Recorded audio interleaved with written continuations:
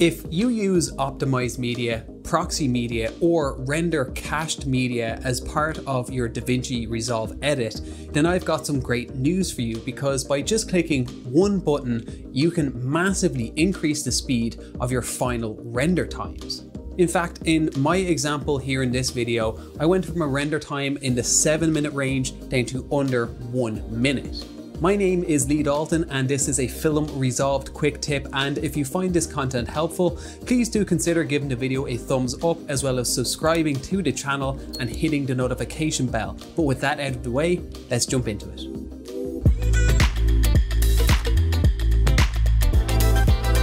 So in my case, I'm utilizing the option for render cached images. So you can see here, I have a timeline and for whatever reason, I needed to utilize rendered cache real-time playback. And you can tell this by this blue line here that has completed the render cache of these images. So I get my nice smooth playback. Now, I've finished my edit and it's come time to deliver this edit. I'm going to first set the baseline of not utilizing the technique that this video is about. So I'm going to come to my preset for my YouTube uh, delivery. And if you're interested in these settings, I have a video about that. I'll leave a link in the description and I'll have a card on the screen so you can check that out afterwards. But we'll just go ahead and call this meh one, add to the render queue and hit render all. And we'll set this as the baseline uh, render time.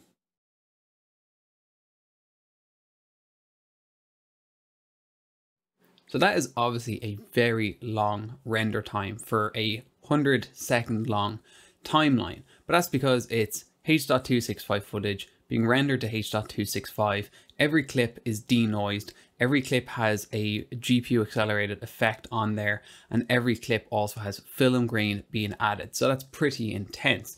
Hence why we needed render cache media in the first time for real-time playback.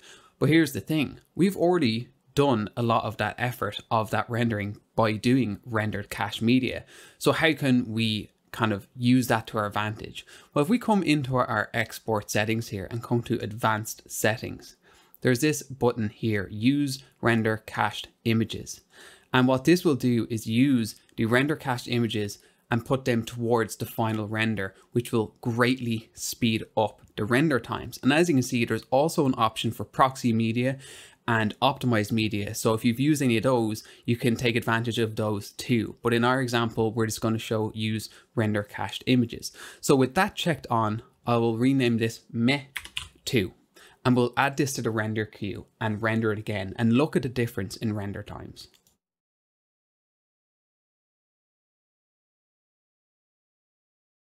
So as you can see, by taking advantage of this technique, we have a render time of 7 minutes and 27 seconds cut down to just 53 seconds. Now there is one key thing that you need to keep in mind so that you don't actually diminish your image quality by using this technique. If you come into your project settings and under your master settings, scroll down to your optimized media and render cache options. And again, my example here is for render cache, but this applies to optimized media and proxy media as well. Make sure that whatever codec you choose for your format is greater or equal to your intended delivery codec specs. So that way you're not having a lower quality render cache trying to render out a higher quality final output. So as long as this is equal to or greater in quality of a codec to your final delivery, this technique will speed up your render times and not cause any quality loss.